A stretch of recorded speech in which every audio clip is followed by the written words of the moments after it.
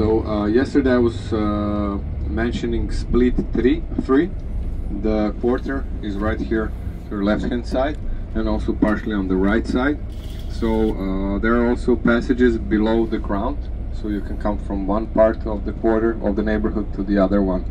So this was built in the times of Yugoslavia. Mm. And at that time uh, was known as uh, a neighborhood, one of the most uh, progressive uh, neighborhoods in whole Yugoslavia because of the solutions that were created here for the citizens that lived inside of this neighborhood.